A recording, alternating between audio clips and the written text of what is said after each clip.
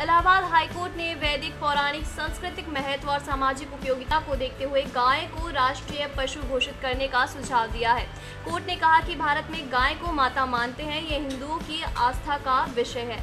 आस्था पर चोट से देश कमज़ोर होता है। कोर्ट ने कहा, गौ, मांस, खाना किसी का मौलिक अधिकार नहीं है। जीव के स्वाद के लिए जीवन का अधिकार नहीं छीना जा सकता है। बूढ़ी, बीमार गाय भी कृषि के लिए उपयोगी है।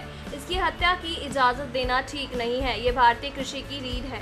कोर्ट ने कहा कि पूरे विश्व में भारत ही एकमात्र देश है जहाँ सभी संप्रदायों के लोग रहते हैं। पूजा पद्धति भले ही अलग हो, सोच सभी की एक है। एक दूसरे के धर्म का आदर करते हैं। कोर्ट ने कहा कि गाय को मारने वालों को छोड़ा तो फिर अपराध होगा।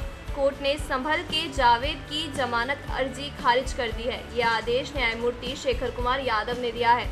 जमानत अर्जी पर शासकीय अधिवक्ता एस के पाल और A G AGA Mithilesh Kumar ने प्रतिवाद किया है। फ़िलहाल खिलेंद्र सिंह की गाय चुरा कर जंगल में अन्य गाय समेत मार कर मांस इकट्ठा किए जाने का आरोप है। 8 मार्च 2021 से जेल में बंद है। शिकायतकर्ता ने गाय के कटे सिर से पहचान की है। आरोपी मोटरसाइकिल छोड़कर भाग गए हैं।